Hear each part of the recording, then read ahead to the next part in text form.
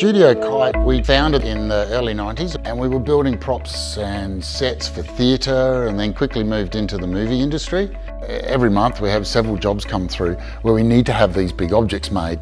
We would just go through blocks of polystyrene making large sculpture. In the early days that was getting out the chainsaw and the handsaw and the rasp and sculptors would carve that away adding bits on as mistakes were made and you dig out the polystyrene to insert steel frames so that things would be strong enough to do their job. And then in 2000, I made a small extruder that used to feed a four millimeter wire. I built this in the workshop with a little motor and, and we bolted that onto the big robot arm and we started 3D printing. We were using milling software and reversing the files, but once that slicing software became open source, that was it. That was the time I knew we had to move. We had to find a new system that would move faster and be safe to work around. And this was when CADzilla's design was born.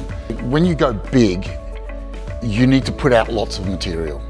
We can now print sort of eight foot high sculptures within a working day with, you know, we can pump out nearly 80 odd kilos in that within that day quite easily. That's what we pushed with CADzilla was getting it to move really, really fast and accurate and pouring out lots and lots of material. And those two things are a very difficult juggle, hence the, the crazy design we have with the big extruder hanging overhead and the material is fed in through a heated line. And that, that meant that we weren't moving the big extruder around. That's just slowly being hoisted up above. We'd seen the, the three arm Delta machine. They're inherently a little bit shaky, this design we needed it to be more rigid. And so we did ran a bunch of calculations with, some, with an engineer and we pretty much worked out that if we put a fourth motor on this design, we will stiffen it up 50% again. The design also then became a square um, and, a, and a build area in a square is much larger than it is in a triangle. So the footprint of the machine, if it was a triangle, would have been had to be much bigger to print the same size objects. It's smaller, it's easier to insulate, the four motors give you an error check. So if there is any one of those motors is doing something it's not told to do, the other three motors won't let it move. So it means you're never going to get a runaway machine. It's never going to injure somebody because it's doing something you haven't told it. We've worked in conjunction with the company that makes the software and they've, they've been willing to make modifications just for us because no one's doing what we're doing. Our machine uses a pellet. Most machines use filaments on a roll. We can buy our material bulk in raw form and just feed that into the machine. It's a big screw inside of a barrel and that's got big heating elements that wrap around the outside and the material feeds into that screw and gets pushed and as it's pushed down it melts with the heat. There's a new material that we've discovered that we can get very cheap and it's chipped up HDPE, which is the white milk bottles that we're all familiar with. Councils have giant, giant piles of this stuff. They can't get rid of it. It's just getting crushed and put into landfill. It's extremely robust in the print. And there's some furniture that we really want to produce this way. Because we have a vibrating plate that's always flattening, so we're not putting a round bead on a round bead. We're actually putting a ribbon on a ribbon. We can have that ribbon maybe eight millimeters wide, but only going up one millimeter. So it means our overhangs can really reach out a long way. And that's another good advantage with having a robot that can move fast, put down lots of layers. Um, means the material can cool quicker because it's thin layers, it'll cool quicker, um, which means it can come back over and you can get much finer detail. So speed is, is really important for, for details. You design so it's efficient to build.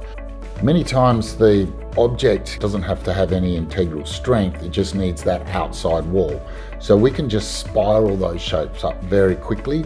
However, in the case of it needing to be extremely strong because people are going to be jumping on it or it's going to be hanging off the side of the building and needs to withstand wind loadings, we can print in an internal honeycomb type structure and this stiffens it all up. Takes a little bit longer, but you end up with a much more durable object.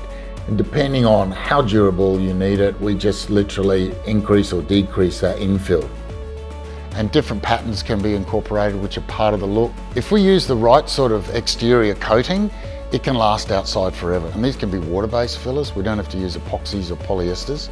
Whereas with the traditional polystyrene and urethane coating the Ferrari high gloss finishes is very difficult. With, with using the ABS, it's easy. You can sculpt in the negative form, which means you can make sure all of your clearances are correct.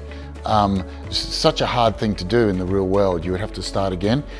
In the cases with these dogs, we can put the skull inside and sculpt the outside and the inside at the same time in the computer. This is something you couldn't do with clay.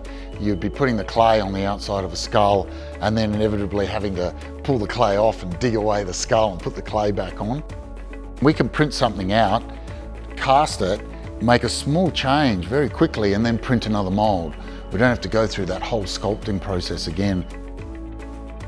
Like the furniture design and perhaps some of these big water fittings, the idea is that it may not be the ultimate way to produce lots and lots of those parts, but 3D printing will be the way to make 10 or 50 of them. Whereas if you're going to injection mold a product, you may have up to $100,000 in, in a big steel mold to produce just one shape. You can also just print something, if it's a kayak or a canoe, you can sit in it and go, you know, it just needs to be a little bit wider. You can put that canoe into a water testing environment so you can test the friction and, and what have you on the, on, the, on the hull. And if you don't like it, that's fine, just chip it up and we'll do another one. And you can do another one in the next day. You don't have to go through this big process of making the form, coating it, digging out the form, putting it in the water. From experience, buying this sort of early tech means that if it fails, you might have months of downtime waiting for parts or advice on how to fix it. That would be, I'd say, be one of the big bonuses for somebody who wanted to purchase the machine is they know that they're going to be talking to the people who designed and built the machine. So we can work around problems we'll have spare parts all on hand, ready to go. We know the machine very intimately now. We knew what we needed from the machine very clearly. So we use it very regularly, which means it's been tried and tested. We've, we've pushed it to its failure limits many times. So therefore we know how to adjust it. And a lot of the people who are trying to do this are not focusing in on that. And so therefore their machines take up to 10 times longer to, to print something, which is not commercially viable. It's not brain surgery, there's, there's a process. Most people can come in and operate the machine easy. Um, there's a lot of stuff that takes a lifetime to learn, which is the designing of the parts and the you know understanding of the engineering and being able to see an object in space and go that'll work those those skills you know are something that don't come overnight the actual operation of a machine is really easy